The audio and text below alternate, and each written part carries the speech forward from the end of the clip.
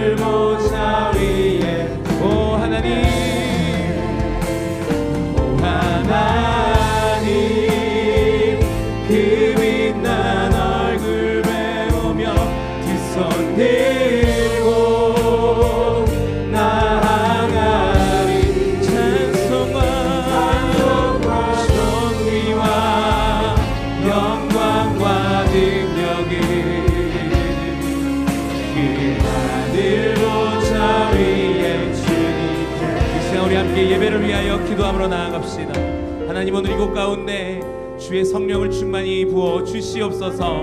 오늘 이 자리가 하나님 아버지 앉으신 그 거룩한 보좌가 되어지게 하여 주시고 우리가 주님을 온전히 예배하며 주님을 경배하는 영광의 자리가 되도록 주님 성령으로 기름 부으시고 역사하여 주시옵소서. 우리 하나님의 임재를 간절히 소망하며 주님의 이름 세번 부르시며 기도함으로 나아갑시다. 주여 주여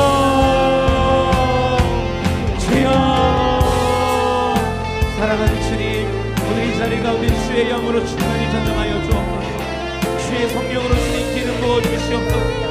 하나님의 영으로 자정하여 주시옵소서. 왕의 지성소도 안으로 들어가 주님을 예배하오니 하나님 이곳 가운데 주의 영으로 부어주시고 하나님의 영광을 경험하는 거룩한 예배의 자리 은혜의 서성을 되도록 주님 아버지 붙드시고 함께하여 주시옵소서.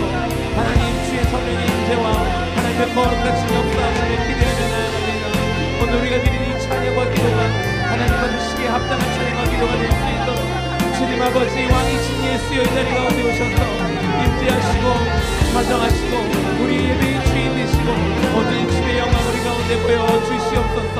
그렇게 하신 주의 이름을 찬양하며 그 주님만을 경배하며 나아갑니다. 아멘. 아멘. 오 하나님. 오 하나님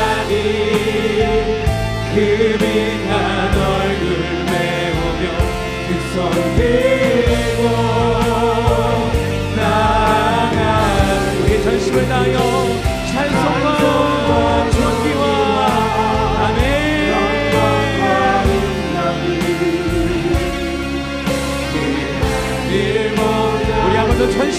찬양합시다. 오 하나님 오 하나님.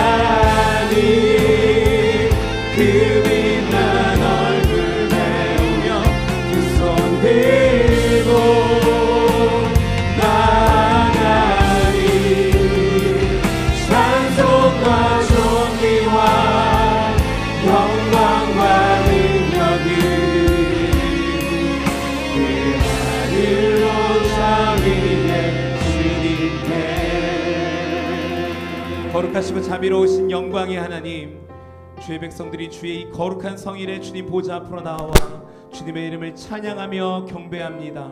하나님 오늘 우리가 드리는 예배 가운데 주님 좌정하여 주시고 하나님의 거룩하시고 아름다우시고 찬란한 영광으로 역사하여 주시옵소서 모든 영광을 주님께 올려드리오며 이 모든 것 우리의 찬양과 경배받기 합당하신 우리 주 예수 그리스도의 이름으로 간절히 기도합니다. 아멘. 우리 거룩하신 주님께 큰 감사의 영광을 받고 올리며 주님의 이름을 찬양하며 나아갑니다. 아멘. 우리 함께 자리에서 일어나셔서 기쁨으로 주님의 이름을 찬양하며 경배합니다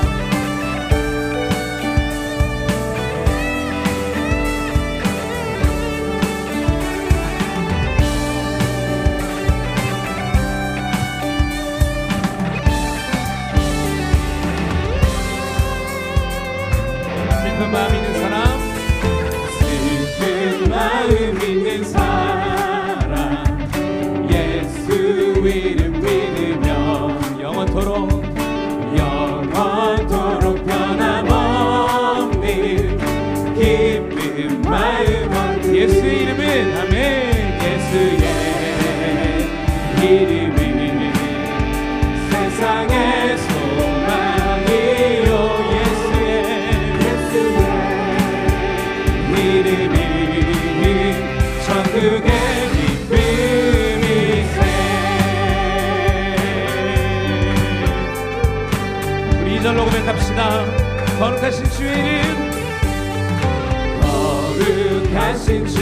이름 너의 방패 삼아라.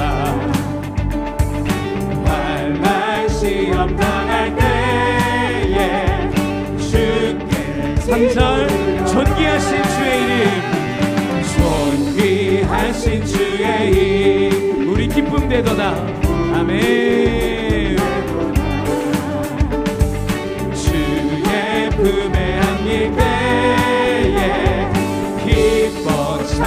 찬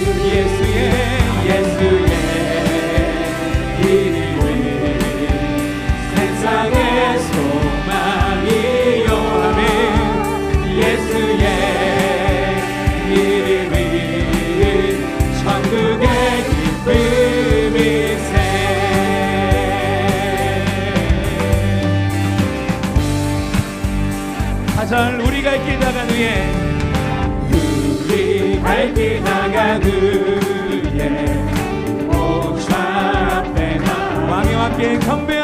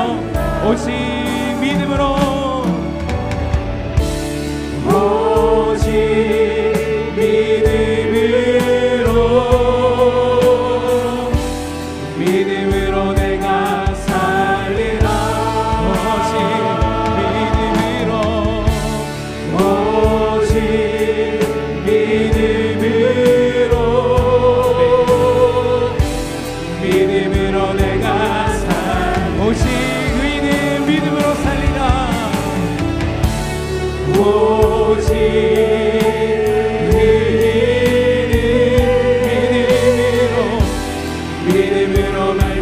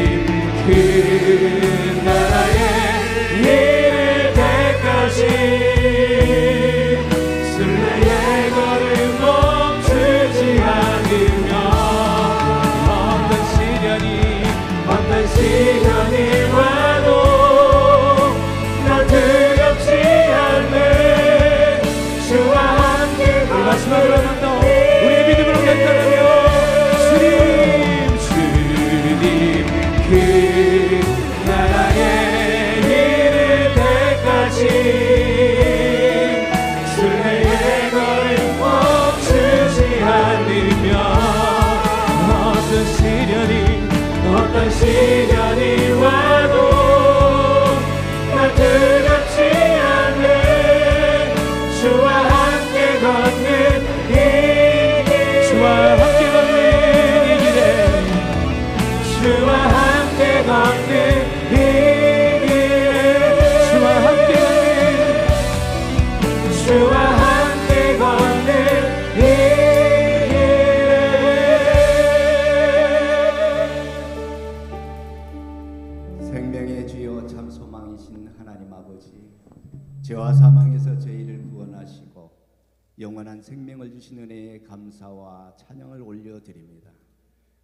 주일 저희 영혼이 주님의 은혜를 사모하고 하늘 보좌를 바라봅니다. 온 마음과 뜻을 다해 드리는 예배를 받아 주시고 주님 홀로 영광 받아 주옵소서. 이 시간 저희의 연약함과 부족으로 인한 지혜를 자복합니다. 주님의 십자가의 보혈로 청결하게 씻어 주시고 성령의 새롭게 하심으로 하나님께 담대하게 나아가게 하옵소서.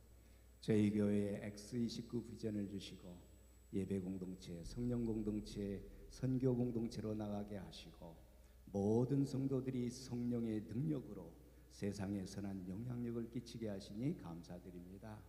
더욱 저희들이 하나님 말씀 붙들고 믿음으로 나아갈 때 하나님과 친밀한 교제를 누리게 하옵소서. 이 나라와 민족이 거짓과 우상 숭배, 탐심, 이단, 동성애, 음란, 자살 등 모든 죄악에서 돌이켜 온전한 회개로 나가게 하사 하나님의 공의와 정의가 이 땅에 바로 세워지게 하옵소서. 새로 세워진 정부와 위정자들에게 솔로몬의 지혜와 명철을 허락하옵시고 자유민주주의의 토대 위에 성장과 평화가 지속되도록 허락하옵소서.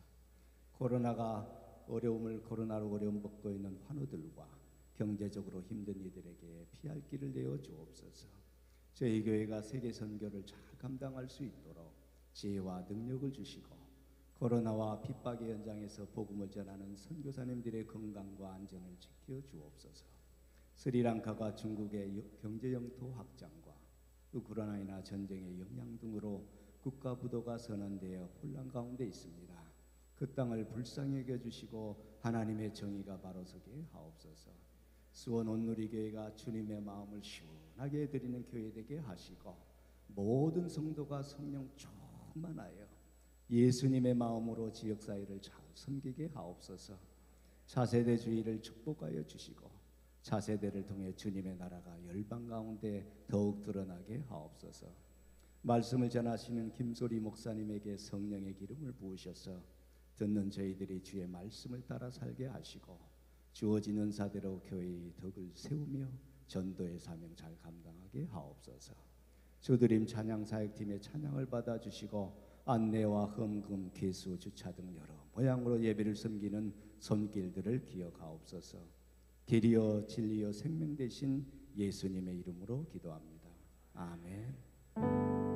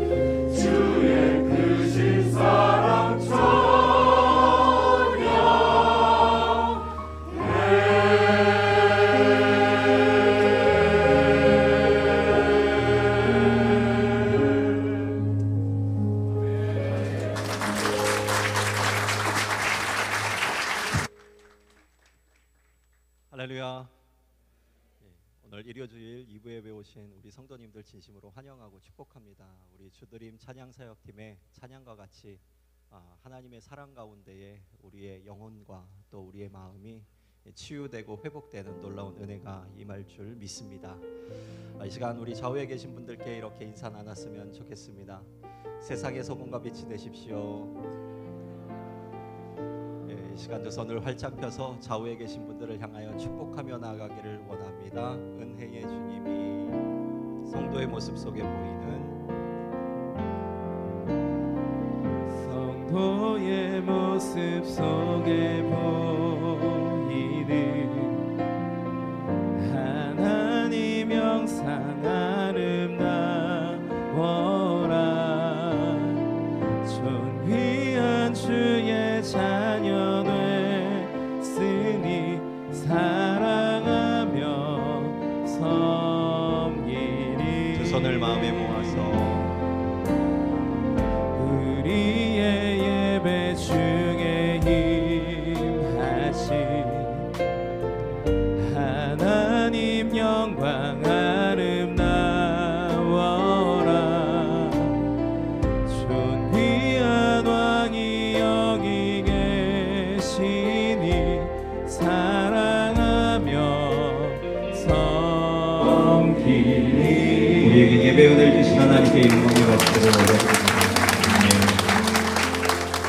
오늘 대표 기도는 신용상 공동체 임상범 장로님께서 섬겨주셨습니다. 환영과 감사의 박수로 우리의 사랑을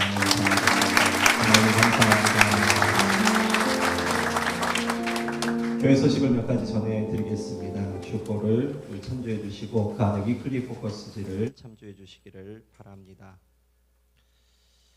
어, 이번 주일은 차세대 주일로 지키고 있습니다. 주차장과 1층에 설치, 설치가 된 어린이 놀이기구와 또 간식, 포토존, 어, 게임 등과 또 중고등부 파워웨이브 학생들은 또 오토 허브 볼링장에서 다채로운 프로그램이 준비되어져 있습니다.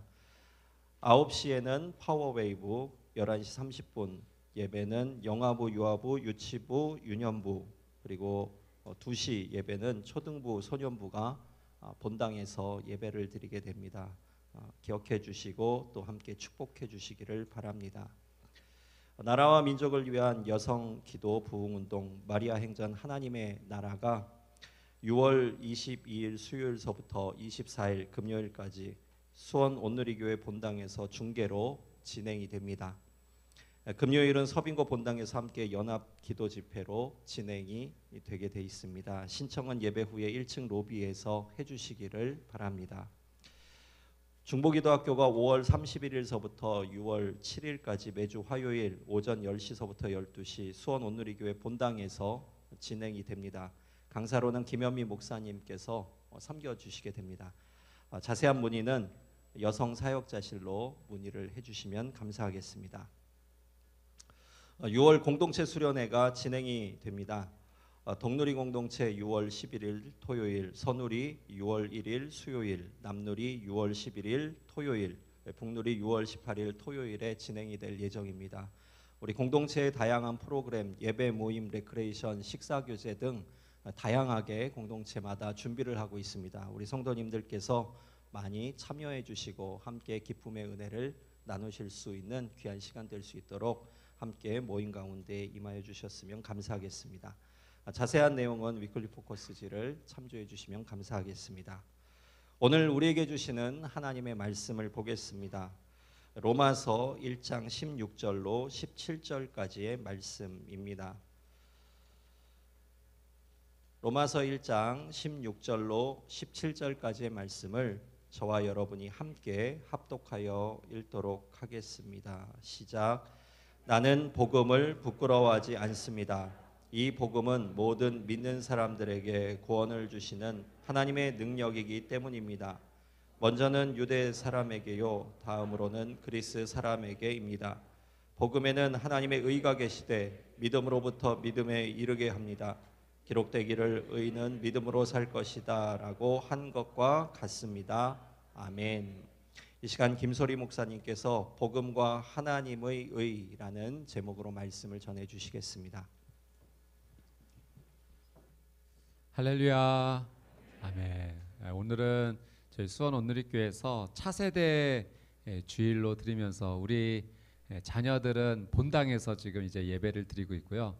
저희 성인들은 우리 자녀들이 예배드리는 이 부속실에 흩어져서 함께 모여 예배드리고 있습니다. 좋으시죠? 예, 지금 이 자리가 우리 자녀들이 앉아서 예배드리는 자리입니다. 함께 예배드리면서 아, 우리 자녀들 오늘 이 차세대 주일 통해서 믿음의 격려를 받고 또 귀한 믿음의 세대로 잘 자라날 수 있도록 저희가 응원하고 격려하며 또 기도하는 하루가 되기를 바랍니다. 지난주 수요일 날 저희 수원 온누리교회에서 어, 부흥 집회로 어, 귀한 예배를 하나님께 드렸습니다. 우리 성도님들 많이 와주셔서 정말로 뜨겁게 하나님께 예배하며 또 기도하고 찬양할 수 있어서 너무 좋았습니다. 아, 그날 이상주 목사님께서 말씀 전해주셨는데 예, 말씀의 제목이 큰비 소리가 들리는가. 그날 저녁에 비가 내렸습니다. 어, 저는 하나님께서 주시는 영적인 신호로 받았습니다. 하나님께서 예배하고 기도하는 공동체 위에 성령의 비를 내려 주시겠다 약속해 주시는 귀한 하나님의 말씀으로 받았습니다. 6월 말에도 또 부흥 집회를 준비하고 있습니다. 그리고 매주 수요일 날 저녁 8시에 예, 더 프라미스 수요 심야 기도회가 진행됩니다. 우리 성도님들 지금은 기도할 때입니다. 그래서 주중에 교회 오셔서 마음껏 하나님께 기도하시고 또 예배하시고 하나님께서 큰 비를 내려 주신다 약속해 주셨으니 그 은혜를 모두 누리는 우리 수원 오늘께 성도님들 되시기를 축복합니다. 아, 오늘 이제 차세대 주일 맞이해서 저희 이제 야외 보면 우리 아이들 위한 놀이기구가 많이 준비가 되어 있고요. 또 우리 가족들이 함께 사진 찍을 수 있는 포토존도 있습니다. 그래서 예배 드리고 나시고 바로 가시지 마시고 가족들과 함께 사진도 좀 찍으시고 또 테이블 의자도 있으니까 좀 앉아서 우리 아이들 좀 재밌게 노는 것도 이렇게 응원해 주시고 함께 귀한 시간 많이 보내고 가셨으면 좋겠습니다. 어, 한 가지 또 중요한 광고는 이제 저희가 6월 1일 지방선거 이제 진행 중이고 이제 사전 투표도 지금 진행을 했는데요. 한 가지 이제 부탁드리는 것은 이 나라의 좋은 지도자 하나님께서 기뻐하시는 지도자 뽑혀서 어, 하나님을 어, 예배하고 경외하는 귀한 지도자가 나라를 잘 다스릴 수 있도록 위해서 기도해 주시고요. 또 한 가지 중요한 것은 교육감 선거에 많이 관심을 가져 주셨으면 좋겠습니다. 저희가 여러 명 투표를 하는데 이제 이 가운데 우리 교육감 선교가 아, 선거가 중요한 이유는 아, 우리 교육감에게 아주 중요한 권한이 있습니다. 교육에 대한 모든 권한이 주어져 있습니다. 교사 임용 권한도 있습니다. 그래서 어, 기독교 학교 교원 임명 1차 권한도 교육감에게 있기 때문에 정책을 한번 잘 살펴보시고 그리고 나서 신중하게 좀 투표를 해주셔서 어, 그래서 이게 중요한 것은 우리 다음 세대 우리 자녀들이 어, 이제 교육감이 무엇을 배우고 하는 것도 다 정하기 때문에 어, 기독교 교육을 잘 받을 수 있도록 좋은 선생님 기독교 선생님 밑에서 교육 잘 받을 수 있도록 우리가 투표하는 것이 굉장히 중요합니다. 그래서 기도하시면서 이번 선거에 함께 참여해 주시면 감사하겠습니다. 예시 우리 믿음의 고백을 올려드리고 같이 말씀 나누도록 하겠습니다. 가슴에 한번 손을 얹고 저를 따라서 함께 믿음의 선포를 해주시면 감사하겠습니다. 나는 하나님을 예배합니다. 오늘 마음을 열고 하나님 말씀을 듣겠습니다. 말씀이 나의 삶의 능력이 될 것입니다. 아멘. 예, 우리의 고백대로 하나님께서 은혜 주실 줄 믿습니다. 복음과 하나님의 의라는 제목으로 하나님 말씀 함께 나누겠습니다. 여러분 오순절 마가 다락방에 120명의 성도들이 예수님의 말씀대로 예루살렘을 떠나지 아니하고 그곳에서 뜨겁게 함께 모여 기도했습니다. 어떤 일이 일어났죠? 성령님께서 임하셨습니다. 불과 바람으로 그 기도하는 공동체에 임하셨고요. 놀라운 하나님의 역사를 그들의 삶 가운데 주셨습니다. 우리 그 현장을 말씀을 통해서 한번 살펴보도록 하겠습니다. 우리 사도행전 2장 한번 찾아보겠습니다. 네. 사도행전 2장 가까이 로마서 가까이 있죠. 사도행전 2장 1절에서 4절까지의 말씀. 자, 사도행전 2장입니다. 자, 1절에서 4절까지 우리 같이 한번 읽겠습니다. 시작. 마침내 오순절이 이르렀을 때 그들이 모두 함께 한 곳에 모여 있었습니다. 그때 하늘로부터 갑자기 급하고 강한 바람 같은 소리가 있었고 그들이 앉아 있던 온 집을 가득 채웠습니다. 그리고 마치 불 같은 혀들이 갈라지는 것이 그들에게 나타나 그들 각 사람 위에 임했습니다. 그러자 모두 성령으로 충만함을 받고 성령께서 그들에게 말하게 하심을 따라 그들이 다른 방언으로 말하기 시작했습니다. 아멘. 여러분 그 자리에 어떠한 일이 일어났는가? 성령님께서 임재하셔서 하나님의 놀라운 은사를 받은 그들이 다른 방언으로 말하기 시작했다는 거예요. 그들의 모국어가 아닌 다른 나라의 언어들을 사용하기 시작했습니다. 그 당시에 그 전 세계에 흩어져 있었던 유대인들이 예루살렘에 모이게 됐는데 자기가 살고 있는 나라로 그들이 말하는 것을 보고 그 제자들이 그 자기가 살고 있는 지역의 언어로 말하는 것을 보고 깜짝 놀라게 됩니다. 여러분 그곳에 정말 세계 각국에서 모인 유대인들이 있었는데요. 그 자리에 로마에서 온 성도들도 로마에서 온 유대인들도 있었다는 거예요. 우리 10절 말씀 그 밑에 10절 말씀 같이 한번 읽겠습니다. 시작. 부르기아, 밤빌리아, 이집트 그리고 구레네 가까운 리비아 지역들에 사는 사람들이며 로마로부터 온 나그네 된 유대 사람들과 유대교로 개종한 사람들이며 여러분 로마에서 온 유대인들이 이 놀라운 사실을 보고 예수님을 알게 된 겁니다. 예수님에 대한 복음을 듣게 된 거예요. 예수님을 믿게 되었습니다. 그리고 다시 로마로 돌아가서 예수님을 믿는 그 몇몇 사람들이 모여 작은 교회 공동체를 이루게 되었죠. 이것이 로마 지역에 교회가 세워진 이유입니다. 오순절 마가다랑 밭때 성령의 놀란 은혜의 역사를 각국에서 온 유대인들이 보고 로마에 있던 사람들도 돌아가서 그래서 그곳에 교회를 세웠던 거죠. 그러나 아직 이 로마의 가정 교회는 사도나 목회자가 없어서 복음에 대해서 예수님에 대해서 아주 자세한 것은 알지 못했습니다. 예수님을 믿는 믿음이 조금씩 자라고는 있었지만 예수님에 대한 온전한 진리를 다 몰랐기 때문에 사도 바울이 이 소식을 듣고 그토록 로마 교회를 방문하고 싶었던 거예요. 그래서 로마 교회 성도들의 믿음을 도와주고 싶었던 겁니다. 그 믿음이 견고하게 세워지기를 도와주고 싶었어요. 그래서 나중에 유대주의자들이나 이단에 의해서 넘어가지 않도록 그래서 그토록 몇 번이나 가고자 했지만 못 갔던 거죠. 길이 막혀서. 그래서 그 안타까운 마음에 지금 편지를 먼저 보내고 있는 겁니다. 그 편지가 바로 이 로마서예요. 그래서 사도 바울은 그 복음에 대한 간절한 마음 때문에 이 로마 교회 성도들이 자신을 만나기 전에 복음에 대해서 예수님에 대해서 온전히 알기를 원하는 마음으로 아주 자세하게 지금 사도 바울이 다 가르쳐 줄 수 있는 모든 내용을 지금 이 로마서에 적어 보내고 있습니다. 오늘 저희가 읽은 로마서 1장 16절 17절 말씀은 로마서 전체의 주제 말씀이에요. 로마서 전체의 핵심입니다. 여러분 그래서 오늘 이 말씀은 예수님을 믿는 우리에게도 너무나 중요한 말씀입니다. 이 말씀 앞에서 나의 믿음을 점검할 수 있고요. 이 말씀 앞에서 내가 복음 앞에 어떻게 살고 있는지 체크할 수 있습니다. 오늘 이 말씀을 통해 저와 여러분의 믿음이 점검되어져 다시 한번 복음 앞에 믿음으로 일어서는 저와 여러분이 되시기를 주님의 이름으로 축복합니다. 자, 먼저 16절 말씀 한번 어, 읽어보겠습니다. 로마서 1장 16절 시작. 나는 복음을 부끄러워하지 않습니다. 이 복음은 모든 믿는 사람들에게 구원을 주시는 하나님의 능력이기 때문입니다. 먼저는 유대 사람에게요, 다음으로는 그리스 사람에게입니다. 여러분 바울이 이렇게 고백해요. 나는 복음을 부끄러워하지 않습니다. 여러분 한번 생각해 보십시오. 무언가 내가 부끄러워한다면 내 마음이 지금 어떤 상황입니까? 부끄러워하는 그것에 대해서 내 마음이 불편해요. 불편함을 뛰어넘어서 불쾌하게 여겨지는 경우도 있습니다. 그래서 숨기고 싶은 거죠. 부끄러운 것은 우리가 드러내고 싶지 않습니다. 숨기고 싶습니다. 여러분 나에 대해서 어떤 사람이 어, 계속해서 고통을 주고 고난을 주고 그러면 우리는 그 사람을 자랑스러워하지 않습니다.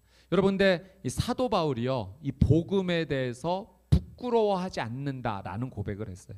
그러면 이 복음이 주는 이 놀라운 어떤 혜택, 유익이 있기 때문에 나는 복음이 자랑스럽습니다라고 말하는 거 아닙니까? 그런데 이 사도 바울의 고백을 보니 사도 바울이 복음을 전하면서 너무 큰 고난과 핍박을 받았어요.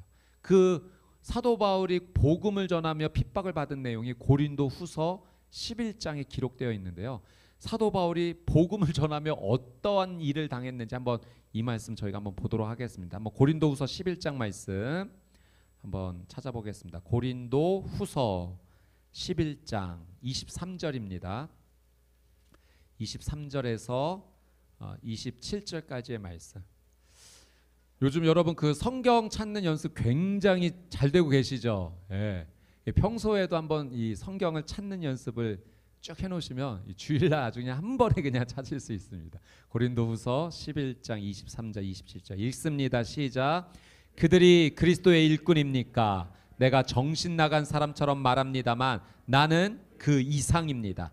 나는 수고도 많이 하고 매도 수없이 맞고 감옥살이도 많이 하고 죽을 고비도 여러 번 넘겼습니다.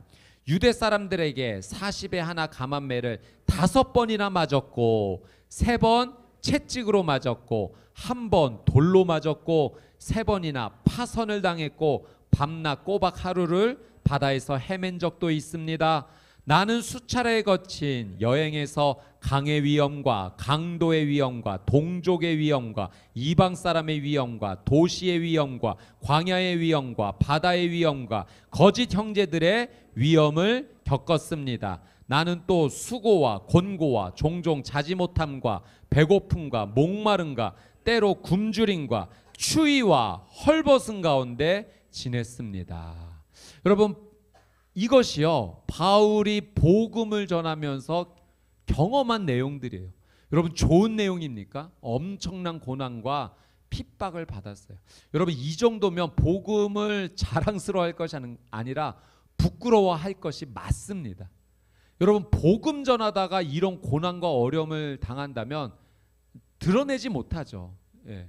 고난을 당하고 주는 것이고 주, 어, 이 죽음의 위기 앞에 서게 하는데 어떻게 그것을 자랑스러워 할 수 있겠습니까? 그런데 도대체 왜 바울은 나는 복음을 부끄러워하지 않습니다라고 말하는 것일까요? 여러분 이 안에 놀라운 비밀이 담겨 있는 것입니다. 바울이 그토록 나는 복음을 부끄러워하지 않는다라고 말한 이유. 여러분 이것은 아주 소극적으로 내가 부끄럽지만 좀 참겠습니다. 이 정도가 아니라 나는 이 복음이 매우 자랑스럽습니다. 이 정도의 고백이에요. 자, 바울이 복음을 부끄러워하지 않는 이유 16절 말씀 다시 한번 보겠습니다. 로마서 1장 16절 시작. 나는 복음을 부끄러워하지 않습니다. 이 복음은 모든 믿는 사람들에게 구원을 주시는 하나님의 능력이기 때문입니다. 먼저는 유대 사람에게요. 다음으로는 그리스 사람에게입니다. 여러분 바울이 복음을 부끄러워하지 않는 이유는 이 복음은 모든 믿는 사람에게 무엇을 주시는 구원을 주시는 하나님의 능력이기 때문입니다. 여러분 바울이 복음이 자랑스러운 이유는 이 복음이 전하여질 때마다 이 복음을 통하여 구원을 주시는 하나님의 능력을 보았기 때문입니다.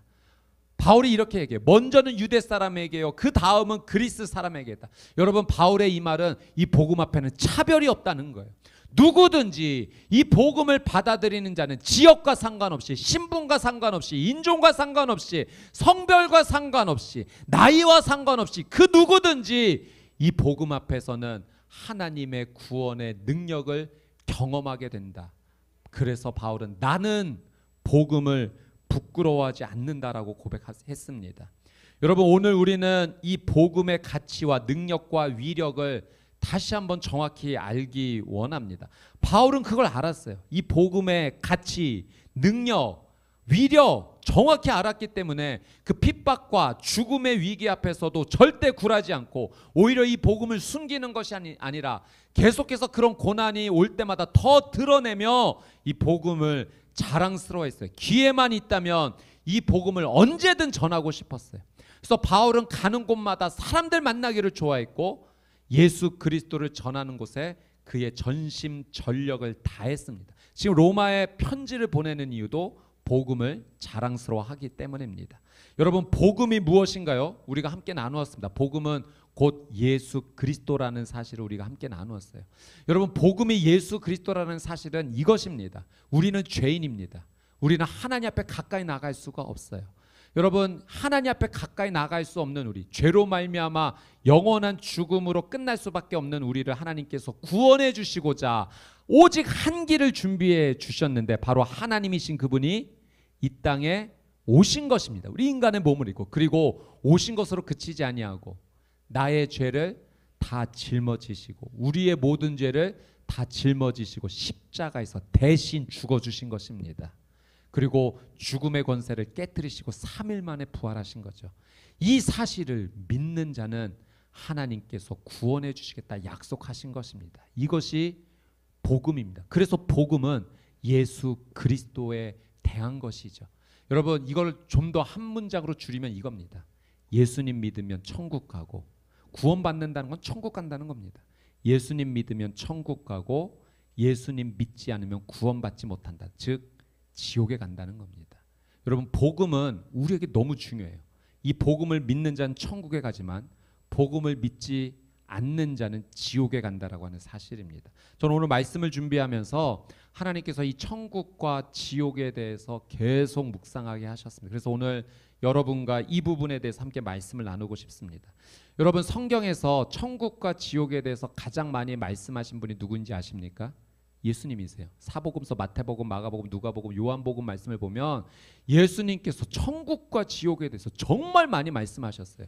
왜냐하면 예수님이 그 천국과 지옥을 만드셨기 때문에 아시기 때문에 가장 많이 말할 수밖에 없어요. 여러분 복음서의 말씀을 읽으시면서 예수님께서 하신 이 말씀을 절대 그냥 흘려보내지 마십시오. 이 말씀은 너무나 중요한 말씀입니다. 여러분 예수님의 천국과 지옥에 대한 대표적인 말씀 가운데 부자와 거지 나사로의 이야기가 있습니다. 여러분 나사로는 천국에 가게 되었고 부자는 지옥에 가게 되었어요. 자, 그 내용을 한번 좀 저희가 살펴보기를 원하는데요. 자, 말씀을 좀 많이 찾아봅니다. 누가복음 16장 말씀입니다. 자, 누가복음 16장 말씀 23절에서 24절.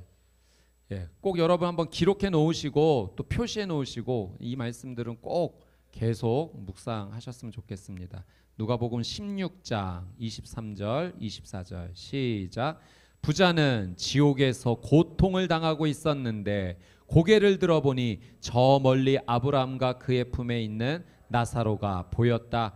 그가 아브라함에게 외쳤다. 조상 아브라함이여 저를 불쌍히 여겨 주십시오. 나사로를 보내 그 손가락 끝에 물 한 방울 찍어서 제 혀를 시원하게 해 주십시오. 제가 지금 이 불 속에서 고통을 당하고 있습니다. 여러분 지옥은 어떤 곳인가요? 예수님께서 분명히 말씀하셨어요. 지옥은 불이 있는 곳이라는 겁니다. 여러분 지옥에 간 사람은 그 불로 인해서 영원한 고통을 당합니다. 여러분 이 첫째 사실 지옥은 불이 있다는 사실을 꼭 기억하십시오. 그리고 지옥의 고통은 실제인 거예요.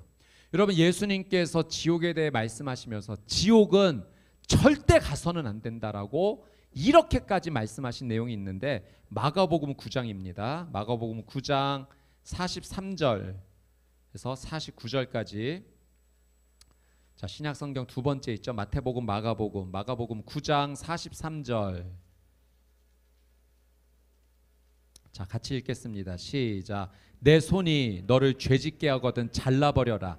두 손 가지고 영원히 꺼지지 않는 지옥 불에 떨어지느니 성하지 않는 몸이 되더라도 생명에 들어가는 것이 더 낫다. 또 내 발이 너를 죄짓게 하거든 잘라 버려라. 두 발을 가지고 지옥에 던져지느니 저는 다리로 생명에 들어가는 것이 더 낫다. 또 내 눈이 너를 죄짓게 하거든 뽑아버려라. 두 눈을 가지고 지옥에 던져지느니 한 눈만 가지고 하나님 나라에 들어가는 것이 더 낫다. 지옥은 벌레도 죽지 않고 불도 꺼지지 않는 곳이다. 모든 사람이 소금에 절여지듯 불에 절여질 것이다. 여러분, 어, 지옥은 얼마나 그 고통이 심한지 예수님께서 절대 그 지옥에 가서는 안 된다라고 말씀해 주시는 거예요. 그러니까 실제로 손발 자르고 그렇게 하라는 것이 아니라 그 죄를 짓지 말고 죄를 지어서 지옥 가지 말고 이 죄 문제가 해결되어서 반드시 천국 가야 된다라는 그 말씀을 하고 계신 거죠.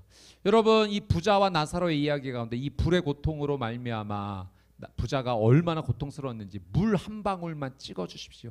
그러나 그 물 한 방울이 허용되지 않고 실제적인 그 불의 고통, 벌레도 죽지 않고 사, 사람이 소금에 절여지듯 불에 절여지는 현상이 이 지옥에 있다라는 것을 예수님은 분명히 말씀하셨습니다. 반드시 지옥 가서는 안 된다는 거예요. 여러분 우리가 지옥에 대해서 분명히 기억할 것은 이 지옥의 시간은 두 번째로 영원하다는 겁니다. 여러분 이 마가복음 9장 43절 저희가 읽었는데 이 지옥에는 영원히 꺼지지 않는 지옥 불이라고 예수님 반드시 예, 말씀하셨어요. 영원히 꺼지지 않는 불입니다. 영원이라는 것을 우리가 이해할 필요가 있어요. 여러분 영원은 시간의 개념입니다. 여러분 만약에 하나님께서 이 지구상에 천년에 한 번씩 아주 작은 돌을 다른 곳으로 옮겨서 지구에 있는 그 모든 것이 이 한쪽에서 다른 쪽으로 만약 옮겨지게 된다면 하나님께서 천년에 한 번씩 작은 돌을 옮겨서 그런 일이 이루어진다면 이론적으로 그런 시간이 언젠가는 오겠죠. 영원이라는 시간은 그 시간보다 긴 시간이라는 것을 기억하십시오. 여러분 지옥은 영원히 꺼지지 않는 그 불 속에서 고통을 당하며 살아갈 수밖에 없는 우리가 절대 가서는 안 되는 곳이에요. 예수님 절대 거기 가서는 안 된다라고 말씀하셨습니다. 여러분 문제는 고통만 있는 것이 아니라 후회도 있다는 겁니다. 여러분 마태복음 25장 30절 말씀 제가 한번 읽어 드릴게요. 한번 표시해 놓고 나중에 찾아보십시오. 마태복음 25장 30절 이 쓸모없는 종을 바깥 어둠 속으로 내쫓아라. 거기서 슬피 울며 이를 갈게 될 것이다. 여러분 고통도 있고 후회도 있는 곳이 지옥입니다. 여러분 그래서 이 부자와 거지 나사로의 이야기 가운데 부자가 후회를 하게 돼요. 자신이 지옥에 온 곳이 너무나 후회가 돼서 부탁을 하죠. 나사로를 좀 살려주셔서 우리 집에 좀 보내주셔가지고 우리 형제들은 이곳에 오지 않도록 좀 해주십시오라고 부탁을 합니다. 자 한번 그 내용 볼게요. 누가복음 16장 27절에서 31절. 누가복음 16장 27절 에서 31절까지 읽습니다. 시작. 부자가 대답했다. 그렇다면 제발 부탁입니다. 나사로를 저희 아버지 집으로 보내 주십시오. 제게 다섯 형제가 있으니 그들이 이 고통스러운 곳으로 오지 않도록 나사로가 가서 경고하게 해 주십시오. 아브라함이 대답했다. 그들에게는 모세와 예언자들이 있으니 그들의 말을 들으면 될 것이다. 부자가 말했다. 아닙니다. 조상 아브라함이여 누군가 죽었던 사람이 가야만 그들이 회개할 것입니다. 아브라함이 그에게 말했다. 그들이 모세와 예언자들의 말을 듣지 않는다면 비록 죽은 사람들 가운데 누가 살아난다 해도 그들은 믿지 않을 것이다. 아멘. 여러분, 우리가 지옥에 대해서 알 수 있는 세 번째 중요한 사실은 지옥에 가지 않을 기회는 육체가 살아 있을 동안에만 그 기회가 주어진다는 거예요. 육체가 죽은 이후에는 후회도 소용없다는 겁니다. 그때는 모든 기회가 사라져요. 지금 부자가 후회하는 게 그거예요. 자신의 육신이 죽어서 이제는 방법이 없는 겁니다. 그러니 우리 형제들에게 가서 그들은 이곳에 오지 않도록 해 주십시오. 근데 아브라함이 이야기하죠. 모세와 예언자들이 이미 있다. 성경과 복음 전도자들이 있다는 겁니다. 만약 그들의 말을 듣지 않으면 아무리 죽은 사람이 살아나 간다 해도 믿지 않을 거라는 겁니다. 여러분 바울이 죽을 힘을 다해서 복음을 전했던 이유가 여기 있습니다. 그가 복음을 부끄러워하지 아니하고 때를 얻든지 못 얻든지 최선을 다해서 복음을 전하고자 했던 이유가 바로 여기에 있어요. 이 복음의 능력은 하나님께서 구원을 주시는 능력이기 때문입니다. 즉 지옥에 갈 사람이 천국에 가는 놀라운 하나님의 능력이기 때문에 그는 정말 최선을 다해서 이 복음을 증거하고자 했던 것입니다. 여러분 오늘 사도 바울이 자신이 복음 전하다가 내가 이 정도로 고통과 핍박이 있었습니다라고 말을 합니다. 근데 여러분 그 다음 말씀이 중요해요. 내가 이런 고난을 받았지만 그런데 이거는 괜찮아요. 나한테 정말 심각한 고통이 있습니다라고 바울이 고백을 해요. 도대체 바울을 힘들게 하고 고통스럽게 했던 것이 무엇인가? 그가 40의 감한매를 다섯 번이나 맞고 돌로 맞았다는 것은요. 그냥 돌 하나 나와서 맞은 게 아닙니다. 사람들이 돌을 던져서 죽은 거예요. 하나님이 살려 주신 겁니다. 복음 전하다가 그런 위기가 있었는데 그 정도는 괜찮아요. 근데 나를 정말 괴롭게 하는 일이 있습니다. 여러분 고린도 후서 11장 한번 찾아보겠습니다. 고린도 후서 11장 28절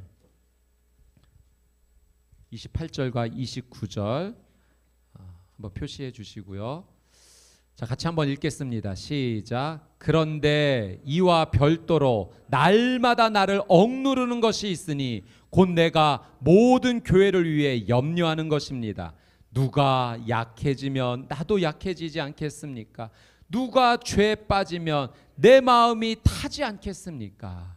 여러분 바울이 자신이 육체적으로 받는 감옥에 갇히고 죽을 뻔한 이 고난도 힘들죠. 그러나 이것보다 자신을 더 괴롭게 하고 있는 것이 있는데 곧 내가 모든 교회를 위해 염려한다는 겁니다. 여러분 바울이 복음을 전하는 곳에 성도님들이 믿음 생활을 하다가 소식이 들려오는 거예요. 어떤 성도님들이 믿음을 포기했다는 소식을 듣게 되는 겁니다. 바울의 마음이 타는 거예요. 어떤 성도님이 죄를 지었다는 소식을 듣게 되는 겁니다. 바울의 마음이 찢어지는 거예요.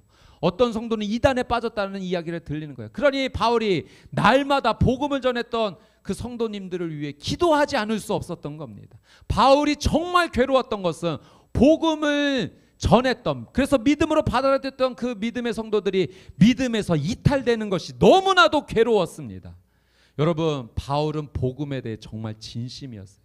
자신은 죽는 한이 있더라도 이 복음이 온전하게 전하여지기를 원했고 그리고 그 복음을 받은 성도들이 믿음 안에서 온전히 거하기를 정말로 사모했던 사람입니다. 왜냐하면 이 복음에 하나님의 구원을 주시는 천국 가게 해주시는 이 놀란 능력이 나타나기 때문이죠. 그 성도들이 천국에 가는 그 길에서 이탈하여 지옥으로 떨어진다고 생각하니 바울이 참을 수가 없었던 겁니다. 바울이 이 복음에 대해서 복음의 능력을 다시 한번 이렇게 설명합니다. 오늘 본문의 17절 로마서 1장 17절 말씀. 자, 복음에는 어떤 하나님의 능력이 나타나는가 같이 한번 읽습니다. 시작. 복음에는 하나님의 의가 계시되 믿음으로부터 믿음에 이르게 합니다. 기록되기를 의인은 믿음으로 살 것이다라고 한 것과 같습니다. 여러분 복음에는 하나님의 의가 계시된다는 거예요. 하나님의 의가 나타난다는 겁니다. 여러분 우리가 이 복음 예수님이 그리스도 메시아 구원자 나의 죄를 용서해 주시고 예수님을 믿으면 내 모든 죄가 용서함 받는 이 이유에는 하나님의 의가 우리에게 주어졌기 때문에 하나님의 의가 우리에게 나타난다는 것은 하나님께서 우리를 예수님 믿는 우리를 의롭다라고 여겨 주시는 거예요. 이것이 이제 신학적 용어로 칭의입니다. 의롭다함을 받는 겁니다. 월, 원래 우리가 의로웠던 사람이 아니고 이 죄인이었는데 죄 문제를 해결할 수 없었는데 하나님께서 예수님을 믿는 그 믿음을 보시고 우리를 의롭게 여겨 주신다는 겁니다. 그래서 믿음으로 시작해서 믿음에 이르게 된다라고 하는 것은 우리가 그 하나님의 의로운 삶에 이르기까지 어디에서 출발해야 되느냐? 믿음에서 출발해야 된다는 겁니다. 그리고 나아가는 방향은 어디가 되느냐? 믿음의 방향이 돼야 된다는 거예요. 그래서 믿음으로부터 시작해서 믿음으로 살아가라는 겁니다. 앞에 이 믿음은 예수님이 나의 구원자라는 사실을 믿는 믿음입니다. 여러분 우리가 이 복음을 듣게 되었어요. 그래서 이곳에 함께 모여서 그 우리에게 구원의 놀란 은혜를 주시는 그 예수 그리스도를 찬양하며 함께 나가고 있습니다. 근데 이 믿음이 여기에서만 그칠 것이 아니라 우리를 의롭게 여겨주시는 그래서 천국문에 들어갈 때까지 계속하여 하나님이 의롭게 여겨주시는 이 믿음을 지키며 살아가야 될 줄 믿습니다. 그래서 바울이 하박국에 그 말씀을 인용하여 오직 의인은 무엇으로 믿음으로 말미암아 살리라. 여러분 믿음으로 시작한 우리는 중도에 멈춰서는 안 됩니다.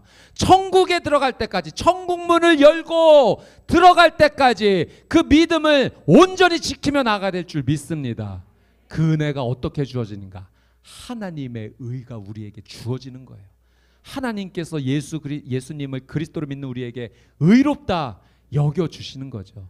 바울이 그 복음을 설명하고 있는 거예요. 나는 복음을 부끄러워하지 않습니다. 이 복음은 모든 믿는 자에게 구원을 주시는 하나님의 능력이 되기 때문입니다. 복음에는 하나님의 의가 계시가 되어서 믿음의 믿음에 이르게 하나니 오직 의인은 믿음으로 말미암아 살리라 함과 같으니라. 여러분 바울은 이 복음을 정말로 전하고 싶었어요. 자신만 천국 가는 인생이 아니라 이 복음 전하는 사명을 하나님께서 맡겨 주셔서 많은 사람들에게 이 복음을 어, 전하고 싶었던 것입니다. 여러분 하나님의 의로 말미암아 우리가 영원한 생명을 얻는 줄 믿습니다. 천국에 들어가는 겁니다. 여러분 오늘 우리가 차세대 주일로 보내고 있습니다. 왜 우리가 차세대 주일을 갔습니까? 우리 자녀들의 믿음을 격려해 주고 싶어서 그래요. 여러분 우리가 우리가 이 믿음 갖고 천국에 가야 되지만 우리 자녀는 어떻게 되든 상관없습니까? 아니죠. 우리도 천국 가야 되지만 우리 자녀는 더 천국에 더 같이 가야 됩니다. 여러분 우리의 자녀들이 믿음이 더 계속 견고해질 수 있도록 우리 부모 세대는 더욱더 기도해야 되는 줄 믿습니다. 우리 자녀들이 중도의 믿음을 포기하는 일이 없도록 그 믿음을 견고하게 세워갈 수 있도록 끊임없이 기도를 해야 돼요. 그래서 여러분 오늘 우리가 우리 자녀들이 예배 드리는 이 공간에 와서 우리 자녀들이 앉는 자리에서 예배 드리며 우리 자녀들을 기억하고 믿음으로 격려하며 기도하고자 우리는 이 자리에 모였고 우리 자녀들은 본당에서 함께 하나님의 놀라운 은혜를 찬양하며 그 믿음이 견고해지는 시간을 갖습니다. 여러분 만약 우리의 자녀가 지옥에 가게 된다면 하나님께서 우리에게 책임을 물으실 겁니다. 여러분 바울이 이 복음에 대해 진심으로 내가 복음 전하다가 고통당하는 건 상관없습니다. 그런데 나를 마음 찢어지게 하는 것이 있습니다. 내가 날마다 교회를 위해 염려합니다. 누가 연약해지면 내가 연약해지지 않겠습니까? 누가 잘못되면 내 마음이 타들어가지 않겠습니까? 여러분 복음에 대한 이 감격을 가지고 우리가 이 믿음으로 살아가게 되기를 그래서 우리 자녀 세대가 더 좋은 믿음의 세가, 세대가 될 수 있도록 기도하는 우리가 되기를 주님의 이름으로 축복합니다. 여러분 그래서 우리 자녀만 기도하시면 안 돼요. 우리 자녀의 친구들 위해서 기도하셔야 됩니다. 여러분 우리 자녀가 친구들 사이에서 혼자 믿음 생활하면 끝까지 버텨낼 수 있겠습니까? 믿음의 친구들이 모여야 돼요. 그러니 여러분 여러분의 자녀를 위해서도 기도하시고 여러분의 자녀들의 친구들이 복음 안에 예수 그리스도 믿고 천국 갈 수 있도록 함께 기도해 주십시오. 그래서 다음 세대 이 나라 이 민족 전 세계는 믿음의 세대로 일어나는 귀한 세대가 되기를 주님의 이름으로 축복합니다. 지난주에 어, 어, 수요 오전 여성 예배 때 강동진 목사님께서 오셔서 귀한 말씀 전해 주셨는데요. 우리 유튜브 수원 오늘교 유튜브에 있습니다. 꼭 그 말씀 한번 들어보시고요. 예배 끝나고 목사님과 잠깐 교제를 할 때 목사님께서 어린 시절 예수님 믿고 그 이야기를 좀 해주셨어요. 예수님 믿고 핍박을 엄청 받으셨다고 합니다. 근데 그러던 어느 날 이제 고등학생 때 잠자리에 들었는데 그 방에 연탄가스가 들어왔고요. 목사님이 죽었답니다. 실제로. 그래서 가족들도 죽음을 확인하고 그 몸을 다 천으로 다 덮어놓은 상황인데 이때 목사님께서 천국에 가신 거예요. 그리고 예수님을 만났고 예수님 다시 보내주셔서 살아나게 된 겁니다. 이제 그런 게 계기가 돼서 가족에게도 복음이 전해지고 이 복음의 사역을 굉장히 살고 계시는데 목사님이 그 고등학교 때 죽음에서 다시 생명으로 돌아와 깨어났을 때 엉엉 우셨대요. 왜 울었냐면 죽었다가 살아난 게 너무 감사해서 온 게 아니라 천국이 너무 좋았답니다. 근데 그 천국을 떠나온다라는 사실이 울 만큼 정말 오고 싶지 않았대요. 여러분 천국은 우리가 반드시 가야 되는 곳입니다. 반대로 지옥은 절대 가서는 안 됩니다. 여러분 복음은 너무 중요해요. 여러분 복음은 멋있는 게 아니에요. 우리의 생명이 걸린 일이에요. 내가 천국 가느냐 지옥 가느냐가 걸린 아주 중요한 일입니다. 이 복음을 우리가 함부로 대해서는 안 돼요. 다른 무엇보다도 이 복음에 대한 믿음을 정말 지키며 살아가야 될 줄 믿습니다. 바울이 그런 심정이었어요. 나는 복음을 부끄러워하지 않습니다. 여러분 그래서 우리가 이 복음을 아는 자로서 복음에 대한 믿음을 잘 지켜갈 뿐만 아니라 여러분 우리 주변에 이 복음을 나눠야 돼요. 하나님께서 우리에게 그 사명 맡겨 주신 것입니다. 특별히 우리 가족, 가문 위에서 여러분을 하나님께서 여러분의 가문의 선교사로 보내신 겁니다. 여러분의 가족이 구원을 얻으셔야 돼요. 여러분을 통해서. 뿐만 아니라 여러분 친척들도 구원의 복음을 들어야 됩니다. 여러분 듣지 않고 지옥에 가게 되면 여러분 정말 안타깝지 않겠습니까? 들을 기회라도 줘야 돼요.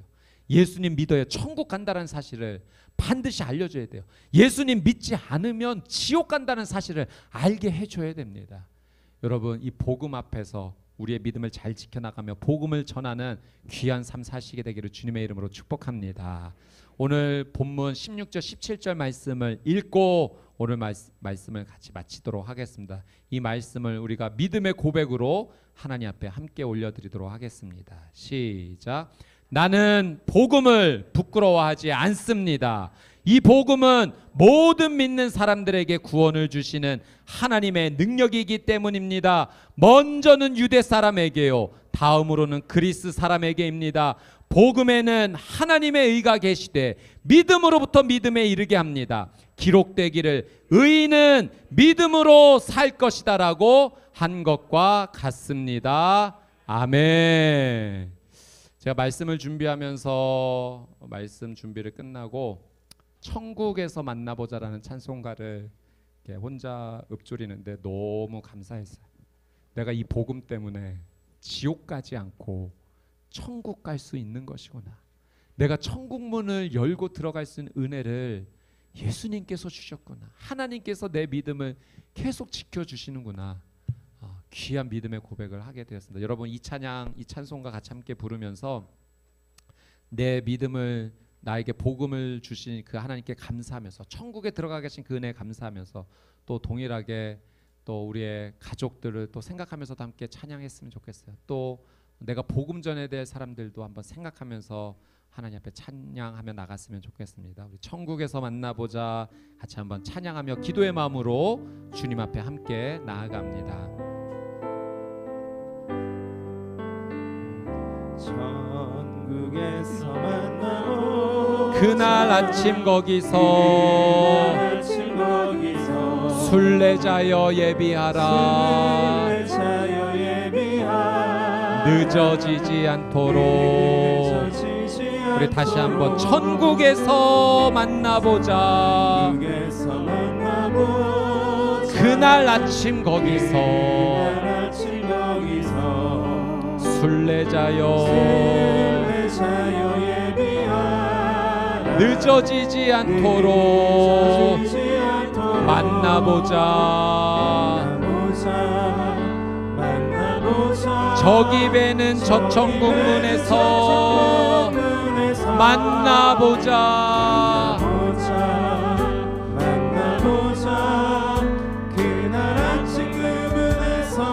너의 등불 밝혀 있나? 기다린다 신랑이. 천국 문에 천국문에 이를 때 그가 반겨 맞으리. 만나보자. 그 아침에 만나보자. 그 아침에 기다리던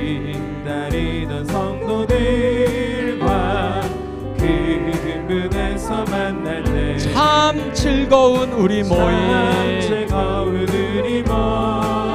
그 얼마나 우리 3절 다시 고백할까요? 기다리던. 그 문에서 만날 때. 문에서 만날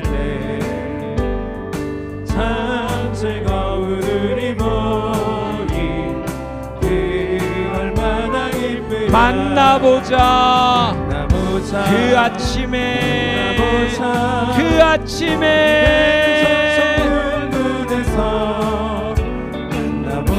아멘 그 문에서 만나자 네, 우리 이 시간 같이 한번 기도하며 나갈 때 여러분 우리가 천국 문을 열고 들어가야 되지 않겠습니까? 우리 기도하며 나갈 때 주님 예, 복음에 대한 예수 그리스도에 대한 복음을 듣게 하셨고 믿게 하셨사오니 이 믿음이 계속하여 믿음의 삶을 살아갈 수 있도록 주님 도와 주시옵소서. 하나님의 의롭게 하여 주신 이 놀라운 능력을 의지하며 천국 문에 들어갈 때까지 하나님께 감사하며 이 믿음 잘 지키며 예수 그리스도를 위하여 살아가는 인생 되게 하여 주시옵소서. 천국의 소망이 내 안에 불일 듯 일어나게 하여 주시옵소서. 우리 주여 한번 외치고 동성으로 기도합시다. 주여 하나님 아버지 천국에 들어갈 수 있는 귀한 복음을 허락하여 주셔서 감사합니다. 이 복음의 놀라운 능력을 주님 감사와 은혜로 믿음으로 잘 지켜가게 하여 주시옵소서. 천국문에 들어갈 때까지 하나님의 그 놀라운 은혜를 하나님 잘 지켜나가는 믿음의 삶을 살아갈 수 있도록 하나님 은혜를 베풀어 주시옵소서 복음에 불이 붙기 원합니다. 하나님 이 복음을 귀하게 여기기 원합니다. 귀하게 여기겠습니다. 가치 있게 여기겠습니다. 능력으로 여기겠습니다.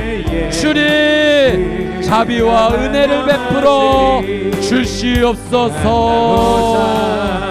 만나보자 만나보자 만나보자 만나보자 그날 아침 그 문에서 만나자 예, 우리 한 번 더 기도하며 나아갈 때 오늘 하나님께서 이 말씀을 통하여 복음 전하는 삶이 되어야 된다 우리에게 말씀해 주십니다. 여러분 우리는 이 복음을 값없이 받았습니다. 하나님의 놀란 은혜로 천국에 갈 수 있는 이 귀한 은혜를 값없이 받았습니다. 여러분 혼자 가시렵니까? 여러분 우리를 이 가정과 가문의 선교사로 보내주셨습니다. 여러분 우리의 가족과 우리 친척을 위해 기도합시다. 여러분 복음의 시작은 기도부터 시작합니다. 주님 자비와 은혜를 베풀어 주셔서 우리 가정 가족과 우리 가문이 예수 그리스도를 믿고 천국에 가게 하여 주시옵소서. 또 직장의 동료 이웃 내 삶의 주변에 복음을 전할 분들을 위해서도 같이 기도하며 나아갑시다. 복음의 능력이 전하여질 때 하나님의 구원의 능력이 임하게 하여 주시옵소서. 주여 한번 외치고 동성으로 기도합시다. 주여! 하나님 아버지 나를 우리 가정과 가문의 복음의 선교사로 주님 보내주셨습니다. 기도합니다. 우리의 가족 남편 아내 자녀 부모님 형제 자매 또 친척들을 위해 기도하오니 주님 내가 기도하며 나갈 때 복음 전할 수 있는 놀라운 은혜를 더하여 주시옵소서. 하나님 아버지 우리의 가족을 구원하여 주시옵소서. 믿음의 동역자 하나님 붙여주셔서 하나님 우리의 가족들이 주변을 통하여 그 믿음의 놀라운 은혜를 누릴 수 있도록 하나님 자비와 은혜를 베풀어 주셔서 우리의 가족이 구원의 놀란 은혜로 나아가게 하여 주시옵소서.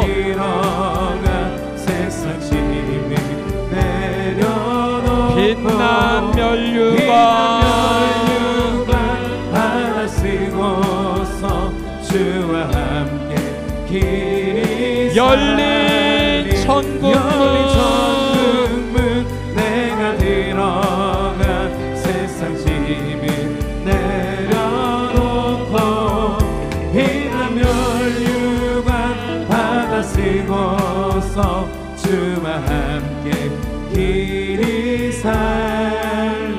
마지막으로 한 번 더 기도하며 나갈 때 우리 치유와 회복을 위해 하나님 앞에 간구하는 시간 갖겠습니다. 여러분 복음이 전하여지는 곳에 하나님의 능력이 나타납니다. 첫 번째는 우리를 구원해 주시는 하나님께서 주시는 구원의 능력입니다. 두 번째는 우리의 삶의 모든 질병과 어려움과 문제로부터 하나님께서 구원하여 주십니다. 여러분 말씀을 보십시오. 사도 바울이 복음을 전하는 자리마다 죄 사함과 구원의 놀란 능력이 먼저 나타났고 또한 동시에 질병에서 치유되는 역사도 일어났습니다. 하나님께서 복음이 진리라는 것을 증명해 주시는 것입니다. 우리 이 시간 아픈 부위에 얹고 함께 기도하며 여러분 이렇게 기도하십시오. 하나님 복음을 위해 살아가는 인생 되겠습니다. 복음을 믿고 끝까지 천국문에 들어가겠습니다. 이 복음을 나누는 삶이 되겠습니다. 나의 삶을 극률히 여겨 주셔서 치유하여 주시옵소서. 우리 수원원누리 환우 성도님들 위해 기도합시다. 공동체가 기도하며 복음의 능력이 나타나 치유하여 주실 줄 믿습니다. 또 우리가 앉아 있는 자리 우리 자녀들이 예배드리는 자리입니다. 이 자리에 앉는 자녀들마다 복음의 능력을 더딛게 하여 주시옵소서. 치유와 회복의 은혜를 구하며 주여 한번 외치고 동성으로 기도합시다. 주여 하나님 아버지 복음이 선포되어지는 곳마다 하나님 놀란 은혜가 나타납니다. 치유와 회복의 은혜가 나타납니다. 구원의 은혜가 나타납니다. 믿음의 손을 얹고 간절히 기도하며 나아갈 때 주님 이 시간 치유하여 주시옵소서 내가 능력 있는 예수의 이름으로 명하노니 치유의 이름 능력의 이름 구원의 이름으로 깨끗함을 받을지어다. 모든 암세포와 모든 질병은 이 시간 예수의 이름으로 떠나갈지어다. 주님 하나님의 놀란 은혜로 함께하여 주시옵소서. 우리 자녀들 주님 복음의 세대 되게 하여 주시고 자녀와 또 하나님 우리 자녀들의 친구들까지도 하나님의 놀란 은혜로 누리게 하여 주시옵소서. 잠에 눈물 골짜기 더듬으면서 나의 갈 길 다간 후에 주의 품 안에 영원토록 열린 천국문.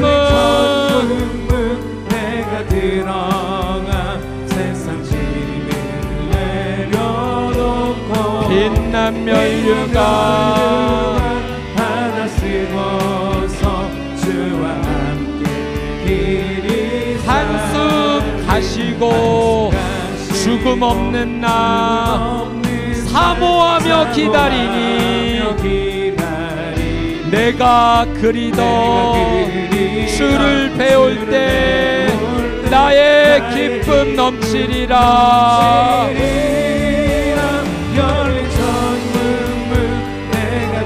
아멘. 빛난 면류가 하나 쓰고 주와 함께 우리 1절 찬양합니다. 잠시 세상에 우리 함께 그 자리에 일어나셔서 찬양하며 나가겠습니다. 우리 두 손을 들고 오라 하시며 영광 중에 열린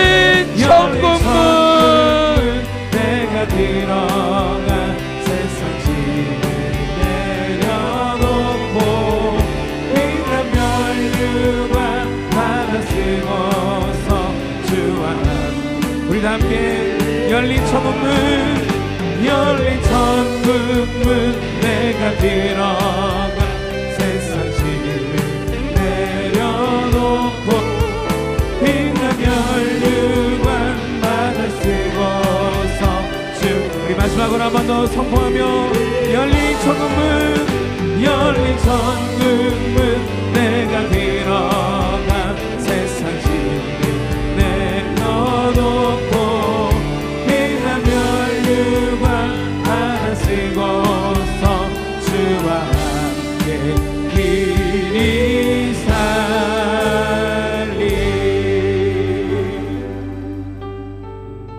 사랑하는 주님, 죄로 인하여서 죽음 가운데 거할 수밖에 없는 우리들에게 하늘의 소망을 다시 한번 알려주시고 영생의 소망을 허락해 주신 하나님께 정말 감사를 드립니다.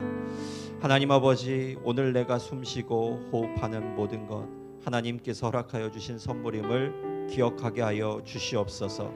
하늘의 소망을 가지고 이 땅에서 하나님의 은혜와 평강 가운데에 우리의 영혼과 우리의 가정과 우리의 일터 위에 하나님 나라가 함께 하심을 믿음 가운데 고백하며 나갈 수 있는 우리의 새로운 삶, 그 삶의 시작이 믿음 위에 있음을 다시 한번 기억하고 우리 가정을 돌보며 우리 주변을 돌아볼 수 있는 복된 한 주간 될 수 있도록 주님 축복하여 주시옵소서. 하나님 오늘도 하나님의 것으로 구별하여 드린 우리의 삶의 일부를 하나님 앞에 정성껏 올려드립니다. 손이 수고함이 복이 되게 하시고 땀 흘림이 형통함이 될 수 있도록 하늘에 신령한 것 땅에 기름진 것으로 더하여 주시되 무엇보다 생명의 호흡이 하나님 앞에 있음을 기억하며 오늘도 하나님께서 허락하여 주신 가장 큰 선물이 우리 가정의 건강이고 우리가 함께 기도하고 하나님 앞에 무릎 꿇어 기도할 때마다 하나님께서 주시는 말씀 안에 있음을 잊지 않도록 도와 주시옵소서. 이제는 우리 구주 예수 그리스도의 은혜와 하나님 아버지 한결 같으신 사랑하심과 성령 하나님의 교제케 하시며 교통케 하시는 역사와 은총이 나는 복음을 부끄러워하지 않습니다. 복음의 감격을 가지고 이 땅에서 하나님 나라의 삶으로 증거하기를 다시 한번 소망하며 믿음 위에 하나님께 모든 삶을 올려드리기를 다짐하는 사랑하는 성도님들의 신앙 고백 가운데에 우리 삶의 터전 위에 우리 온누리 교회와 우리 가정 위에 오늘도 세계 열방에서 흩어져서 복음 전하고 계신 우리 선교사님들의 사역과 그 가정 위에 이제로부터 영원토록 함께하여 주시기를 간절히 축원하옵나이다. 아멘. 살아계신 하나님을 찬양합니다.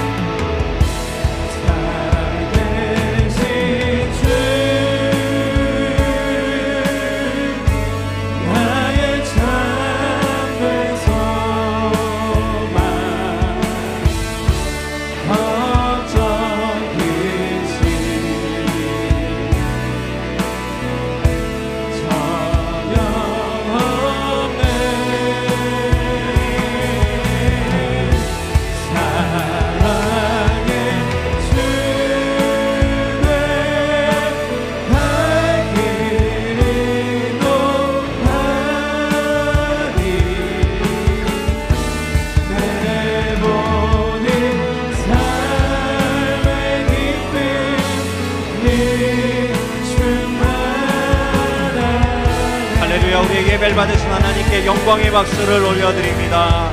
아멘.